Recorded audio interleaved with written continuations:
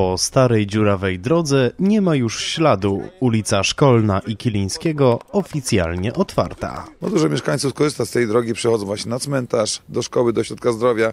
Także ta droga jest bardzo istotna.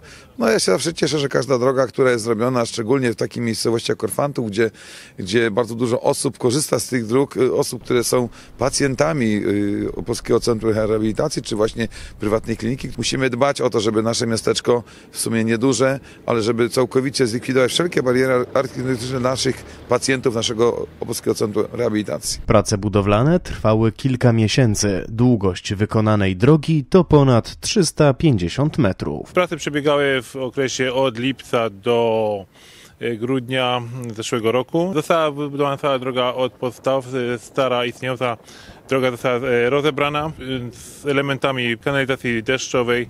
Żeśmy wykonali całą drogę od podstaw. W ramach udogodnień są m.in. niskie krawężniki, które umożliwiają łatwą pokonywanie ich przez wózki inwalidzkie i, i brak jakichś pro- progów architektonicznych. Dzięki wsparciu z programu rządowego gmina Korfantów otrzymała spore wsparcie finansowe. Całkowity koszt inwestycji to około milion złotych. Ten odcinek drogi został współfinansowany z rządowego programu przebudowy e, lokalnej infrastruktury drogowej gminy powiatowej. Gmina Korfantów wystąpiła o dofinansowanie, otrzymała e, dofinansowanie na tą drogę. Życzę gminie Korfantów kolejnych wniosków, bo rusza Fundusz Dróg Samorządowych.